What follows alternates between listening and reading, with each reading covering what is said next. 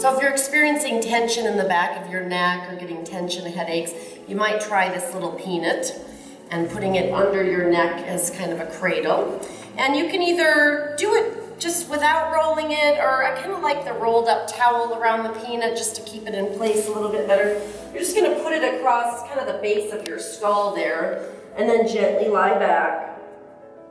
And just set your head on the peanut and just rest for several minutes. You can also roll it back a little bit, just find a nice comfortable spot. You can gently just lift your nose a little bit, kind of rolling the peanut underneath your neck and back of your head.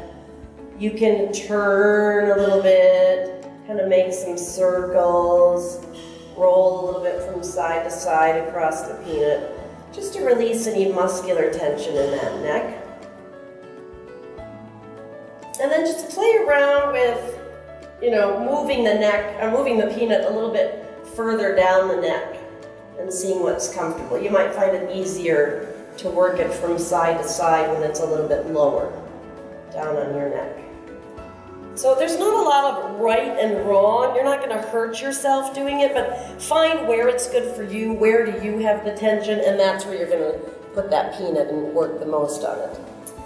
Then, after you have released those muscles with the peanut, you can sit and just apply a little bit of side bending motion. Your arm is going to reach out to the side from your hip, and then just gently press on your head with the other hand.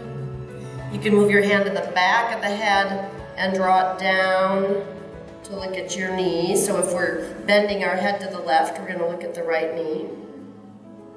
Then you'll bring your head back to the sideways motion and come back up to center.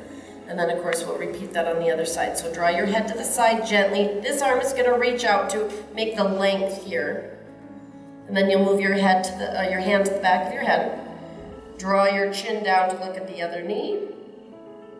And again, we're getting the side of our neck and the back, of a stretch.